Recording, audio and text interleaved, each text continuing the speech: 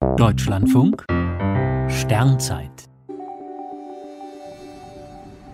17. Mai Der Planet mit Zonen und Bändern Vor 390 Jahren, im Mai 1630, richteten die beiden Jesuiten Niccolo Zucchi und Danielo Bartoli ihre Teleskope auf den Jupiter. Sie bemerkten als erste zwei dunkle parallele Streifen auf dem Planetenscheibchen.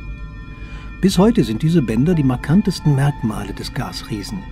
Sie sind schon in einem guten Fernglas auszumachen. Noch im 17. Jahrhundert folgerten andere Gelehrte, dass die Streifen zeigen, dass Jupiter rotiert.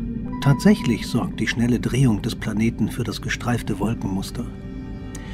Jupiters Äquatordurchmesser ist gut elfmal größer als der der Erde. Er rast aber in weniger als zehn Stunden einmal um seine Achse. Die Corioliskraft, die die Bewegung auf einem rotierenden Körper beeinflusst, spielt auf Jupiter eine überragende Rolle. Auf der viel langsamer rotierenden Erde sorgt sie nur für die Drehrichtung von Hoch- und Tiefdruckgebieten oder den beständigen Strom der Passatwinde. Auf Jupiter aber wird jede Auf- und Abbewegung in der Atmosphäre um 90 Grad abgelenkt.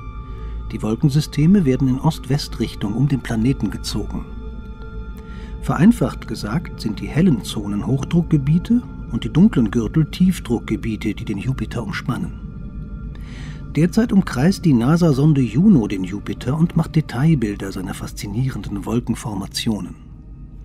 Für den Überblick sorgt das Hubble-Weltraumteleskop. Traditionell macht es einmal im Jahr ein hochaufgelöstes Bild der kompletten Atmosphäre des gestreiften Planeten.